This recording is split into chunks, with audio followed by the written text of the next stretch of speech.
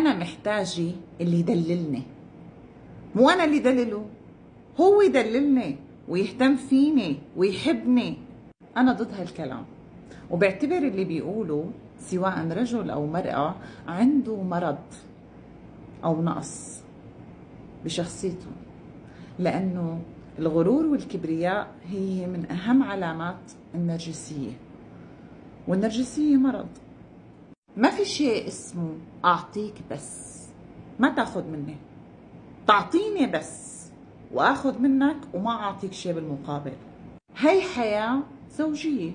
الطرفين فيها بيحبوا بعض وبيهتموا تكمل بشكل سليم بدون عقد وأمراض.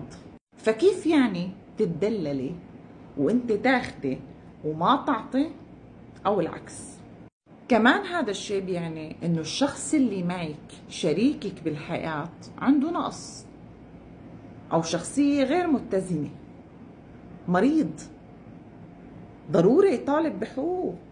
ليكون شخص واعي وناضج. اللي عنده كيان وشخصية وبيعرف قيمة حاله وبيعرف شو بيستاهل بالحياة وبيقدر نفسه وعنده ثقة كاملة بما يملك وبإمكانياته كشخص موجود بهالحياة ما بيتنازل عن حقوقه بسهولة. ومعقول أنت تحترمي هيك شخص بيتنازل بهاي الطريقة؟ أما تكوني مصرة هو يهتم وأنت لا معناها عندك مشكلة. تعالجي قبل ما تكبر.